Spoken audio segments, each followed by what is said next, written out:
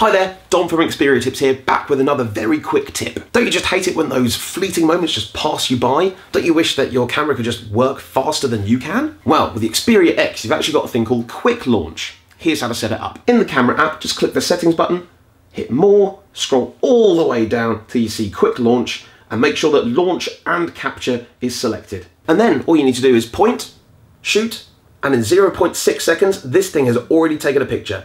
That is faster than the time it takes for the screen to even switch on. So there you have it, another quick tip about the Xperia X camera to ensure that you get all the perfect shots. And I'll see you next time.